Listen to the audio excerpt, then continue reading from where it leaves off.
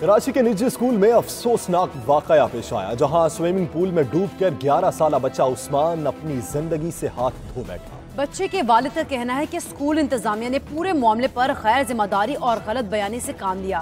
واقعے کا مقدمہ بچے کے والد کی مدیت میں اسکول انتظامیہ کے خلاف درج کر لیا گیا۔ تفصیلات اورنگزیب جبار کی اس رپورٹ۔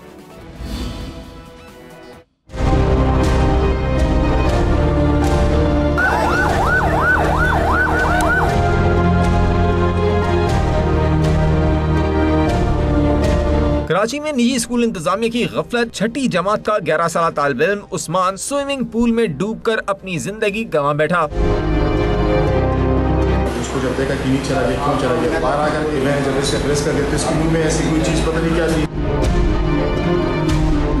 واقعے کی اطلاع ملنے پر پولیس بھی نجی اسکول پہنچ گئی جہاں دو سوئمنگ ٹرینرز کو حراست میں لے لیا گیا۔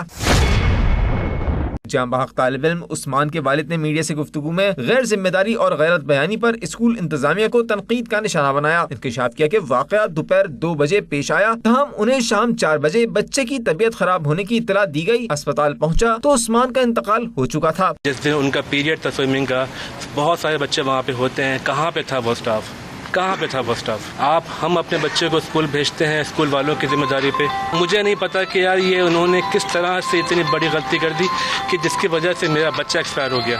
ایڈیشنل پولیس سرجن نے بچے کے پوسٹ مارٹم کے بعد تصدیق کی کہ عثمان کی موت اس کے پھیپڑوں میں پانی بھر جانے کے باعث ہوئی۔ پراپرلی پورا پوسٹ مارٹم کیا ہے۔